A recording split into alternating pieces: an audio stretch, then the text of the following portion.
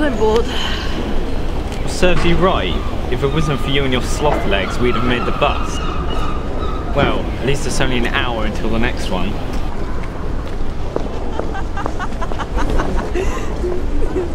what do you suppose they're so happy about? I don't know. Probably a sale on in Jack Wills or something. Oh yeah? Well, what about that guy? Him? Probably just got a big promotion at work. Lucky guy. Who knew people watching could be so fun? Your turn. What about that guy?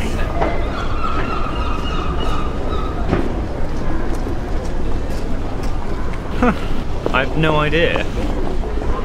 Let's follow him and find out. I'm alright here, thanks. Come on, it's ages until the bus gets here. There's nothing else to do.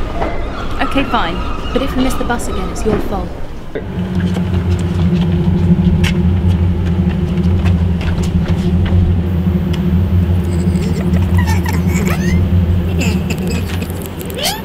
What's he saying? I don't know. It can't be English. What's he got in his hand? It looks like. It looks like a gun. N- not a normal one.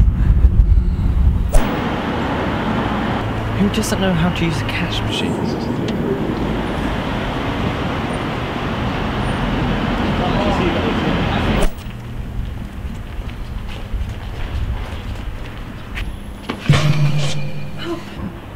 Okay, that's it.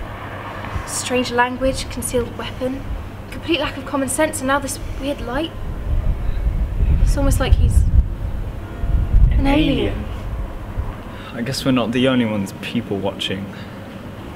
Hey you, stay where you are! Don't move! Who on earth are you? I thought I was being followed. Give it up, alien. We know what you are. Alien? What are you kids talking about? We saw everything. The light, the call to the mothership, the alien blaster. You fools have absolutely no idea what you're talking about. I'm late for my work as a building surveyor, hence the torch, and I missed my bus because my bank card isn't working, and your so-called alien blaster is my breakfast. But but what about the mysterious phone call?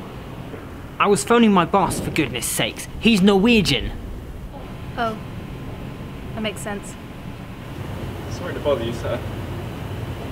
Oh, I could have sworn we were on something. Hope we haven't missed that bus.